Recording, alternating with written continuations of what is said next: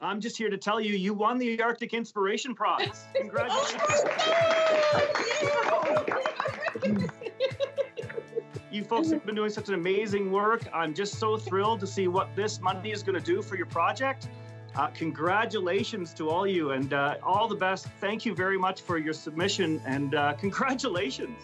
So, on behalf of our team, I definitely always wanted to thank our nominator, Grace Southwick, who from who is from Kluane First Nations, and she so strongly believes in in our work, working with the youth, and she's worked with us in the past, and I want to thank her so much. Also, would like to thank our entire team that helped us and direct us with the proposal. Uh, Frederick Blake from Northwest Territories, Frank Brown from British Columbia, Valerie Courtois from uh, our leader from the AYA Indigenous Leadership Initiative in Canada, Jocelyn Joe Strack, uh, Ethel Blondin, there's and John John and Bathe from the Northwest Territories, and with our whole hearts, we thank you so much. And uh, we hold you all out. Thank you. In 2020, when the Canadian Mountain Network team wrote the Arctic Inspiration Prize proposal with our former co-research director, Norma Kassi, we could only imagine the kind of meaningful experiences that land-based learning would create. Matching funds from CMN brought the total budget to 1 million, enabling a team of 16 organizers and facilitators to offer our first ever land-based learning camp in 2022.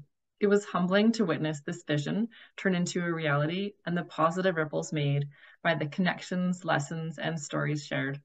With open hearts and open minds, we are thrilled to share the story of camp with you and can't wait to offer our next program in 2023.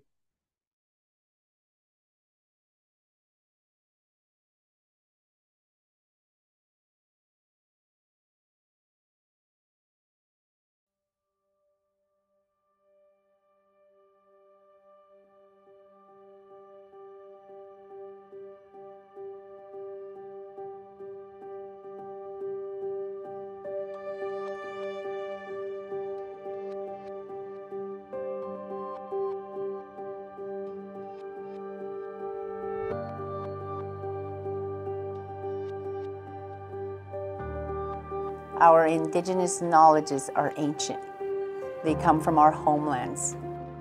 Our languages, our culture, and our ways of knowing are all connected to the earth, water, and the animals.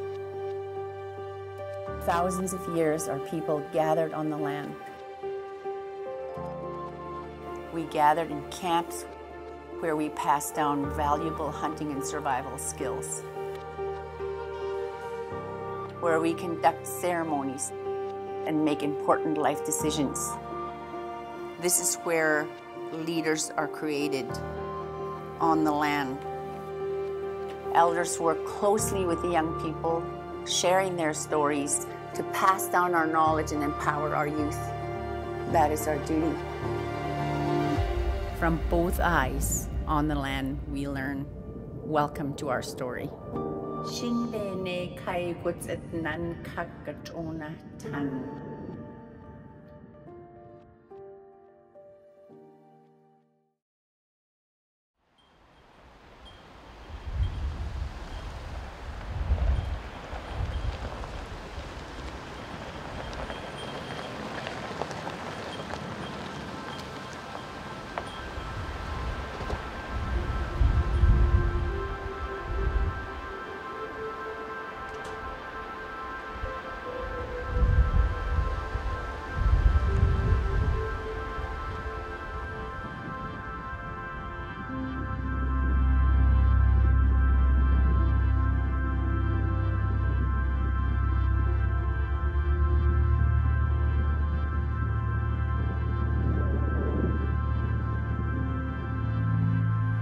August 2022, 18 youth from across Canada gathered on the homelands of Kluane-Mankai in the Kluane region.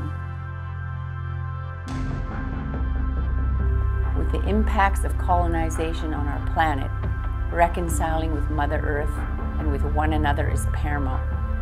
We can build lasting partnerships between Indigenous and Western knowledge systems by working together the North will be much stronger. I'm hoping to learn about residential school. I initially came to this camp to learn about the traditional and scientific like projects they're doing. Making connections with settler students and Indigenous students. I try to read and learn and as much as I can, but there's no substitute for the sharing of ideas between people. And I'm hoping that what I learn from others can propel me to to act about the lands and the waters and justice. It's important to then use that care for action and not just feelings because it can it can get caught up in other things and I'm still figuring that out but this is this has been a huge help in that. I came here to learn about climate change, colonization, residential school, learn how to heal, how to strengthen your culture. And um, one of my leaders that I know recommended me to come to this camp. So I'm really glad for this whole whirlwind experience and what I have to offer and what I will learn. I came to be at this camp as part of the studies I'm doing right now, conservation biology. It's a good way to meet people, young people, indigenous people, and uh, talk about the ideas.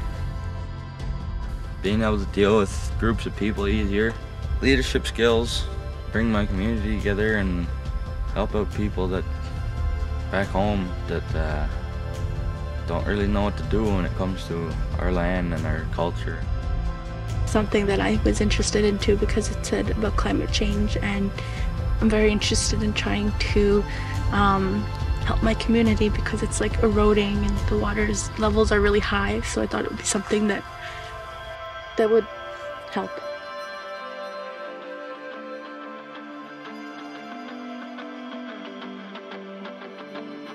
Part of the reason I came to the camp was because my supervisors, Fiona and Crystal, were like, hey, this would be great for you, um, especially working with youth, because that's such a vital component of doing this kind of work. So attending the camp really provided me with the knowledge, tools, and experience I need, I think, going forward to be able to engage with youth and also just have fun at the same time. Um, not be about work all the time because it, it is work, but it's also so much more than that. Um, it's about who you are as a person and growing and that sort of thing. So. What the youth, what the participants of this camp get out is to, to feel empowered, right? To uh, to feel that they've been heard, both by the, the researchers that came as well as the, the non-indigenous folks. Um, and that they feel that they have a voice, right? part of empowerment is feeling heard, and and uh, you know we've we've heard it said a few times that uh, you know to, to speak so you can be heard, and to help them feel like they can do that. We connected our local knowledge holders and academics with our youth, enabling intergenerational knowledge transfer. Participants learned about community-based research methods, on the land safety, the history of colonialization, and the impacts of residential schools in the North. We also explored the best practices for moving forward in a good way towards reconciliation. Colonization has altered every part of our lives as Indigenous peoples, fragmented our cultures, and those social issues are what we still deal with today in our communities. History in Canada has been whitewashed, basically, you know, and not just with Indigenous people, but other people of color and those considered different. So, to really understand who we are as human beings, we have to look at the good, the bad, and the ugly in our history. And, you know, we can't truly understand ourselves and who we are by ignoring parts of our history. So the racist laws towards Indigenous people have created chaos in our communities. But understanding, you know, teaching and understanding allows us to really think about everyone's history and uh, Canada's history When we were talking about residential schools, I knew it was going to be. I never talked about my story before to anyone, how it affected me. And when they said we were to talk about it, I was like, I'm not going. This is way too hard for me. I'm not ready for this. I was crying. I was breaking down crying. I was so anxious and I just couldn't stop crying because it's such a hard thing to talk about. And you know, growing up and just how Canada's made it look too is like, you know, that we were stupid people and not, you know, not as educated as the rest of the world. And I think that played a big part on, you know, them really screwing us over and um, taking things that weren't theirs. I built up the courage to bring myself to the circle and I spoke my truth about my experience of intergeneration, intergenerational trauma with my grandparents, with my parents passed on to me. It opened up my mind to how strong um, our ancestors were. I just, I think it was interesting to see that history, especially Canadian history, has covered up the real truth so much. And it felt like a release of all this burden that I was carrying on myself. And it felt so good to let that out. And what I said people cared about what I said. They listened to me and they wanted to make sure I was okay and they want me to heal. History like especially Canadian history has very much covered that all up.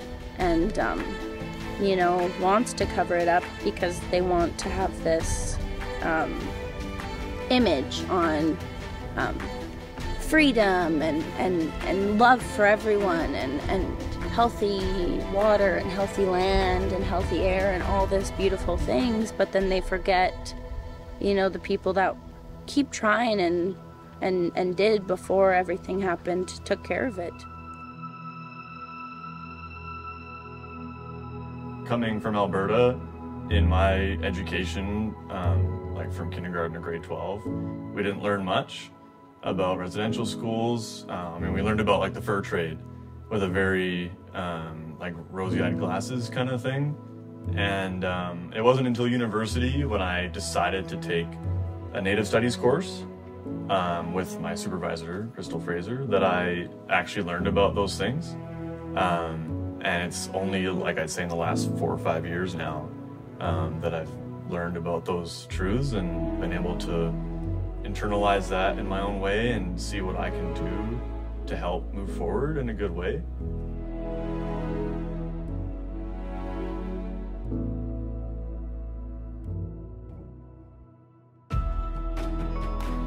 We bring these young people to a safe environment where they are focusing on themselves and the land. They see better, they hear better, and they feel better.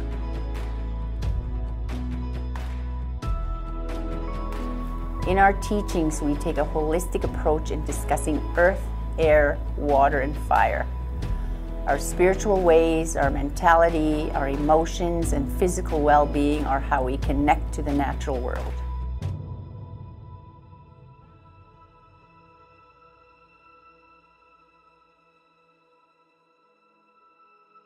I'd say my best part about the Yukon is just meeting everybody, making so many new friends, like, and even though you're so far away from home, and like you don't have your own people, everybody just everybody just makes it feel like home because they make it feel like they're my own people. Like I have.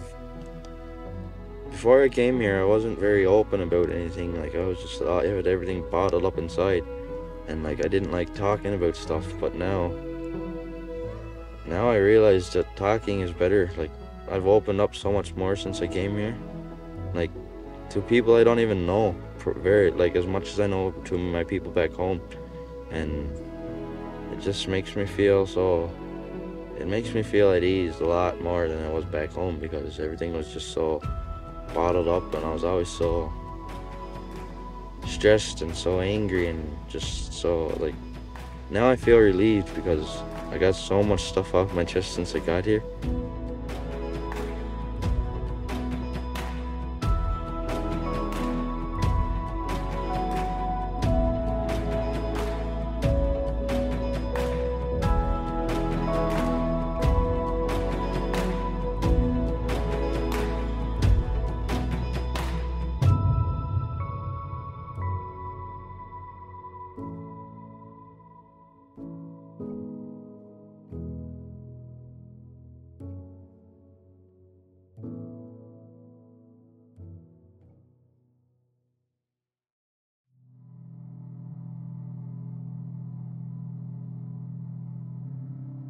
Our leaders shared historical challenges and successes of Indigenous peoples in Canada. They come through this country and lots of people were shooting sheep, caribou, moose, bear. I've seen some pictures with 26 grizzly bears. What would you do with 26 grizzly bears? It, it, they're all stretched out in front of their vehicles. So people said, not us, we didn't have no say. This is really beautiful country. We should make this a protected area. We're going to make this as a game sanctuary so nobody can hunt and fish or do anything here. We held off on how that land was expropriated from our use, from our families for 60 years. People from Champagne came up and they were told, you can't go there. It's a game sanctuary. All of the native people, they got to take all of your stuff and move out. My grandma Sue and them had to move out from down at Wolverine Creek on the on the white on the Donjek River. Their whole homestead, they had to just up and leave it. All of that whole area, from Klukshu Creek all the way down to the White River, was all off limits now. I don't know what they think we are. We're otters, but I just live on fish because we couldn't go over here on the road, on that side of the road, and we only had this little strip of land, and then we had 42 miles of lake. Only way we can get across the lake is, uh, is uh, wintertime. We were raised up having to break the law for food. Other than that, we're going to live on fish. Or you go to jail. Or you go to jail. They said that this is enough. They took it to court here in, uh, in the Yukon.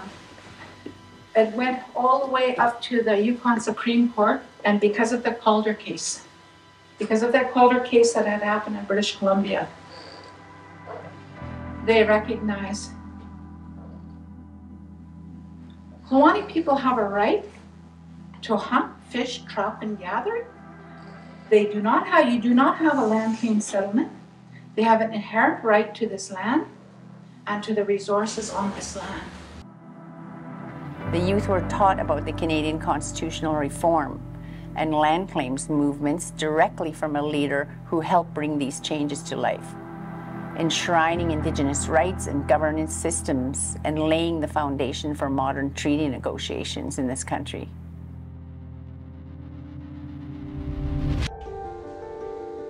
And their mission was land claims, land claims, land claims. That was the mantra in British Columbia for a hundred years. And the Nisga'a successfully negotiated the first modern treaty in British Columbia, and it took them 113 years.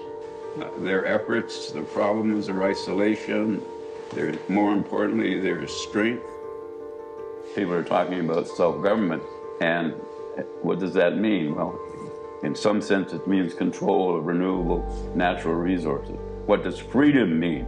For me, means the right to make your decisions that you can reinforce with economic power based on renewable natural resources.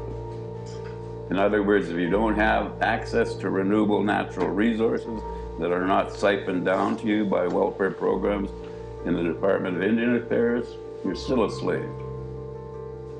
But if you can develop your own, on your own land, in your own territory, with your own people, and use your language and your cultures and your relationship to each other and the waters, now you got a chance to be free. It still brings tears to my eyes because these guys were part of my life. These women were part of my life. They are the ones that gave me the purpose, reinforced the purpose that my mother and father gave me in order to be a fighter for the land. And a good friend of mine has a slogan, he says, it's all about the land, stupid. And that's really what it is all about. It's about the land and the resources, the sea, the mountaintops, and all the other things that we have shared uh, and sadly seen much, much destruction in. Already we've um, really formed a strong bond between all of the participants so it's amazing to be able to build relationships and connections with people who are from all across the country from all different backgrounds. And learning from the elders and researchers has been so enriching. They are fountains of knowledge and wisdom and uh, we are in the presence of really great leaders here. So hearing their stories has been very heartening for myself and wanting to create positive changes for our environment, but also for social justice and human rights. So it's been unreal.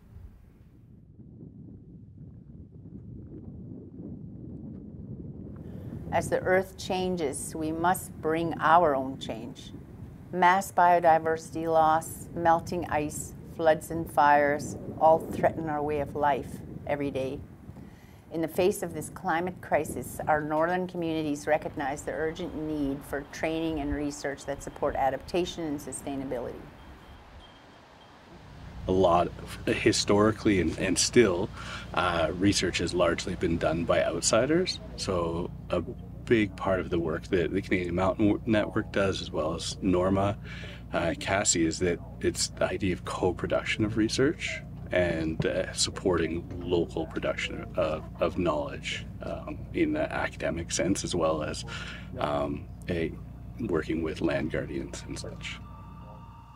If you're going to research caribou, you've got to research what it eats, who eats it, what all the parts are, how it migrates, where it migrates to, and all of that. We are a holistic type peoples, and our research is holistic. It's not just linear. You just don't go in there and just research one animal forever and that's all you know. Like there's indigenous knowledge around that particular animal or species or plant. The research is also really heavily biased towards the biophysical sci natural sciences. Very little done into social sciences. So people spent a lot of time trying to understand what the physical impacts were, but not really what's going to be the impact on people. In my experience, the, what we call the body of knowledge is hugely biased. And it doesn't have a lot of indigenous perspective unless someone else studied it, but then they're telling your story. People have come in here, do research, and expose it to the entire world and we never even see it. To get your PhD or to get your name in papers, to get everything like that, but it's our people's knowledge. So we have to be really careful with that as well.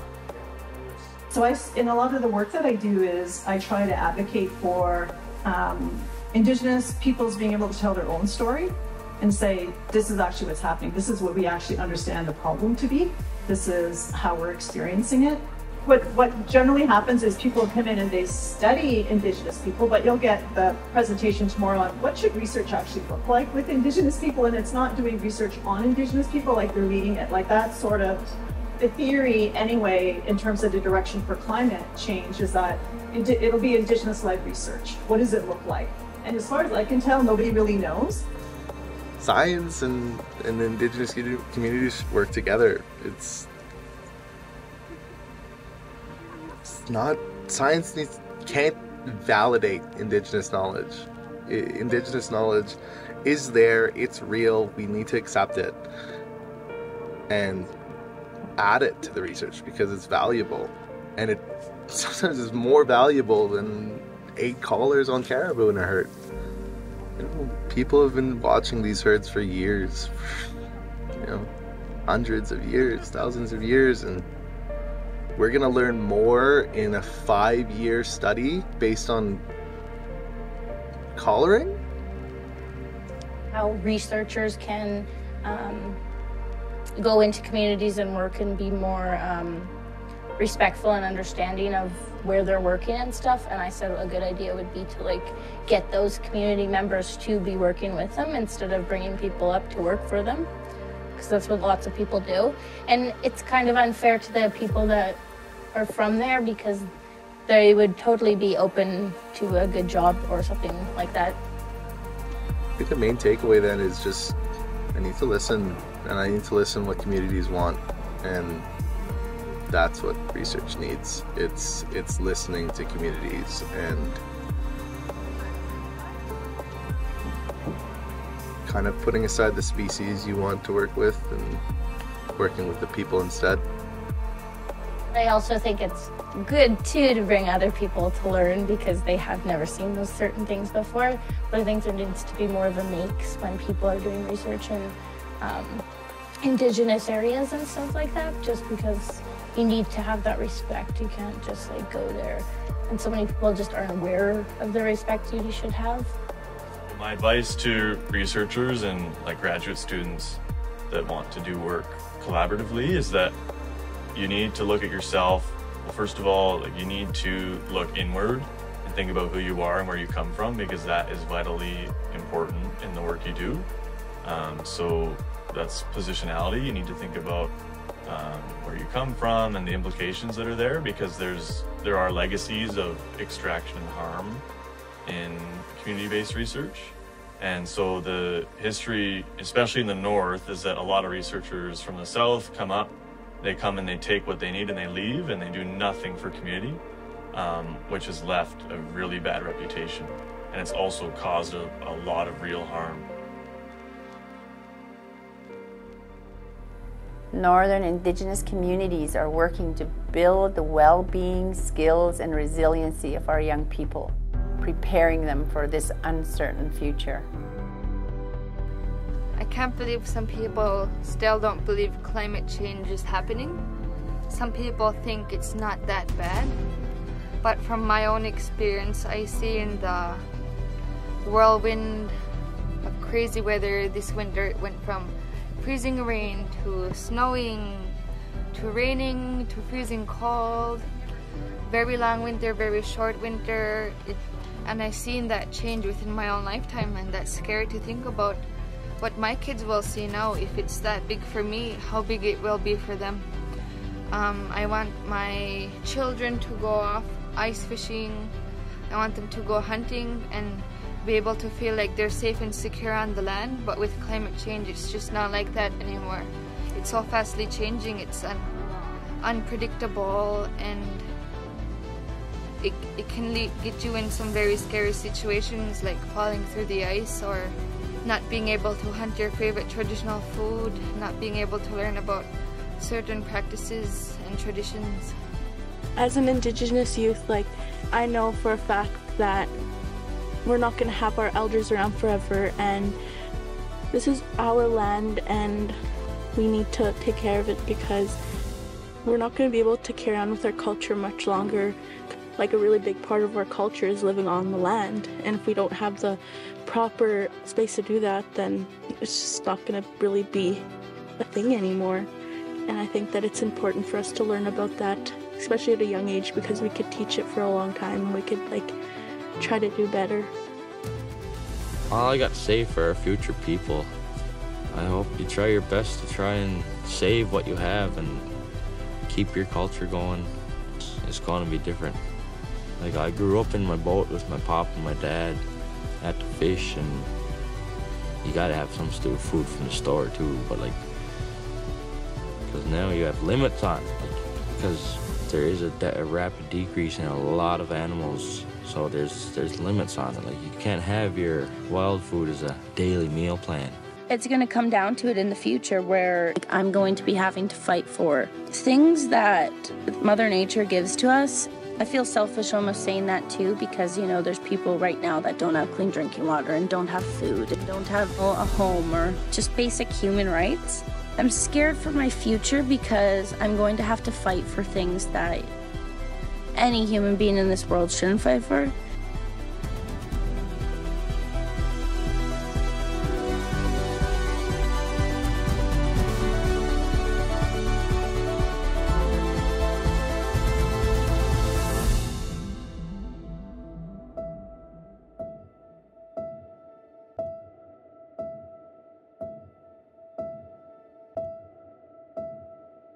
Since the beginning of time, our people have always been land guardians. There is an urgent need to create more Indigenous protected and conserved areas around the world. Building capacity for Indigenous-led stewardship supports strong economic opportunities for our young people in the communities while they are protecting the land. For systems of research um, born out of universities, there's this expectation of moving from, you know, planning, having predetermined processes and deliverables and outcomes, you know, asking questions and then pursuing them in a, in a methodical way.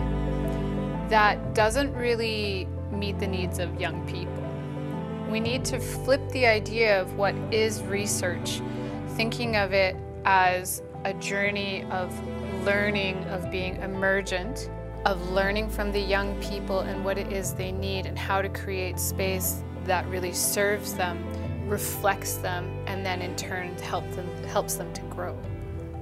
And that's why something like land-based learning is so important, because it can really bring our youth from a place of uncertainty and fear into a place of like confidence and belonging and knowing their identity because as Indigenous people, our identity is born on the land. And I think this is important, you know, because Canada wants to reconcile with Indigenous people. And so the first thing everyone needs to do is to reconcile with Mother Earth. The way that they would do their like climate assessments that would cover a huge geographic area, because one of the criticisms I find of Indigenous people is that we don't have a baseline. When actually we do. So visiting is actually climate action. Like they're using their own knowledge, assessing the health of the people and environment to see what's needed for the well-being of the community. And this will affect everyone. You know, the climate change, people have to understand that no matter where you live, that eventually this is going to affect you. And even though Indigenous people feel and see it first, it doesn't stop there. So sharing knowledge, when you come here and you're sharing knowledge, that's actually climate action. Whether it's uh, you know, traditional knowledge and Eastern sciences coming together. So sharing knowledge and finding ways to do that is actually climate action. When you understand that it's connection between people, it's a disconnect from the land. So engaging in those kind of things build climate knowledge. Systems of prestige, of control, of being protective are serving internally. When we are wanting to love and to care for young people, we need to move that energy out externally.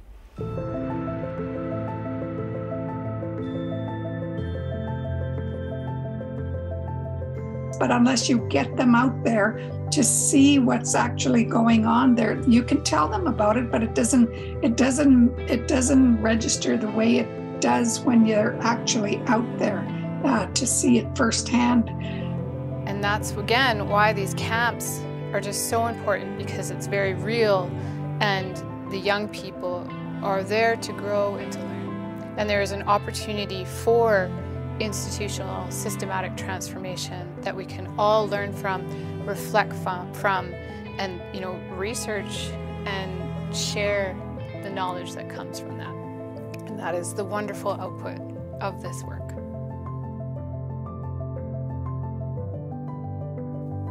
As we do these camps, we are creating guardians who will dedicate themselves to protecting what we have left on the planet and sustain life going forward.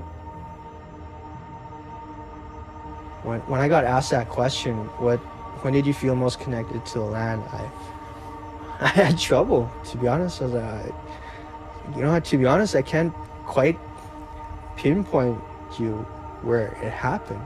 Like we just always were. You know, the, in Old Crow, the land is like right there. Compared to my experience in Toronto, seeing miles and miles of just cities, was just as into up in Old Crow, where just miles and miles of mountains and trees. To be honest, I can't tell you. I just always felt connected to the land. We always were, and we always will be. I'm more so just proud to be First Nations and be Indigenous and like know that I have so much strength and there's so many First Nations kids out there that don't think they have a voice and don't understand that their voice is like one of the strongest things ever. Like we're still here. Like I'm so thankful to be Indigenous. By communicating and talking about your past experiences and things that has happened, you become stronger when you connect on those things and like, yeah, discuss it and talk about it. I just think it's so important that, yeah, there should be camps like this going on all over Canada. It was great because we got to talk about those things together in a very like raw way which is important because you need everything on the table. Like, reconciliation's all about truth, and you need the truth out there on the table. So for us to sit in a circle and everyone's telling stories and we're crying and we're pouring it out there was so important. And to do it in the context where, you know, 10 minutes later we go out on the land and we can breathe and feel the air, you know, and listen to the leaves and the wind and that sort of thing. And then um, just be situated in place to talk about those issues was so important. It's definitely changed the field of research I want to do. Um, it's definitely changed the location of where I want to do research. Um, yeah, meeting these kids and hearing their stories, and specifically Lucas, um, I want to want to do something that matters. I want to start, well, not really start, but I want to speak up to try and get, I want to get, like I said, a research program on the go where we can track the salmon and what they're doing and where they're going because who knows, we might have our salmon leaving here and traveling to Greenland or overseas, who knows. The call here for funders, for decision makers, is to be open to risk and relinquishing some control in how funds are spent and how decisions are being made about them. In grassroots community based work, especially youth focused work, things change very quickly. And we need to create systems that are nimble enough to serve the needs of the young people. And we have a mutual responsibility, I think, to act respectfully to one another um, and to take care of the land together because we share this land. Um, and we have a responsibility um, on both sides, but particularly for those of us that are non Indigenous, I think a lot of us conveniently ignoring that we have this responsibility. Um, we all need to take it upon ourselves to come to the table as an equal partner and do the background work we need to do um, to be able to move forward in a good way. When I get back to my community, I want to try to make a change. A lot of the youth in my community can't really speak our language, and we've never really had a really good program in our community for language, so I want to encourage that upon our school committee and whatnot. And I also want to get like a first aid training set up. It's really important for us to know that, especially when we're on the land. And I want to set up a few programs on the land for the youth to go to, like this, similar to this one. When I'm finished um, this research camp, learning camp, I'm going away to university in my province to try to become a lawyer. And um, I want to speak with other leaders. I want to go in court. I want to fight for my indigenous people because we don't have indigenous representatives. So with this camp I learned more about climate change. I heard the wise words of elders and I want to take what I learned and use to I'd see. So taking it from both sides so we can combine together, which is way stronger. And um, I want to help people. I want to help indigenous people and I want our voices to finally be heard. So what's my message? What, yeah, what's your message? What's your one big strong message that you got? Make sure you follow Dulit. Dulit is your law. Make sure you follow Dulit. You have to know the language, you have to be on the land, or at least learn the language because you're learning a different way of thinking. People who think in the language think differently. I learned after 62 years of upfront Indian politics. Got to be home, got to be on your land. That this is my guarantee to you is that uh, once you start realizing what Indigenous people have contributed to the world, you'll realize how much people live our way of life.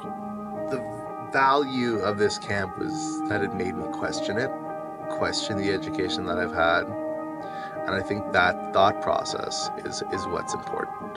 Questioning what you're being taught and questioning the methods and, and questioning the procedures. It's like you, when you're sick, you go to the doctor and the doctor listens to you and like looks at your body and finds out what's wrong. Well, if the land is sick, you don't sit in a classroom in a city. You need to go to the land and listen to it and hear what's wrong. And that's why land-based learning is so important.